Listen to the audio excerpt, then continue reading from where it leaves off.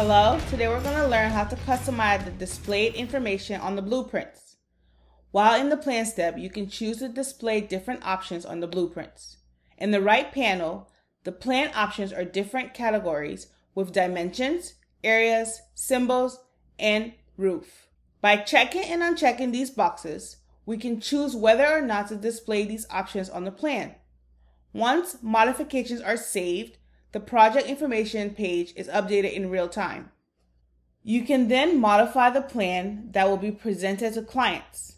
Be careful, each display option is only valid for the intended levels such as the ground floor, first floor, or basement level. However, on the terrain level, which is where you created the site plan, there are different options. You can also choose to display or hide certain dimensions or symbols. On this level, you can change the building appearance on the site plan by checking the house materials options.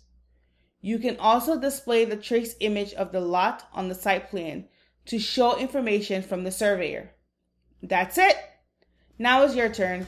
Feel free to contact us at the email provided. Our team is always available to help.